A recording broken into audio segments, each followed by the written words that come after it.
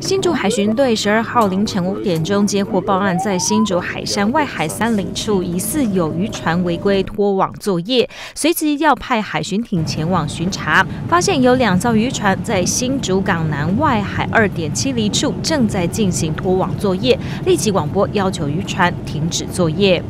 八月十二日上午五时许接获报案，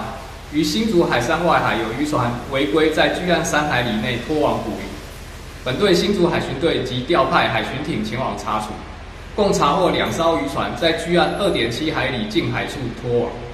海巡艇及广播要求停止作业，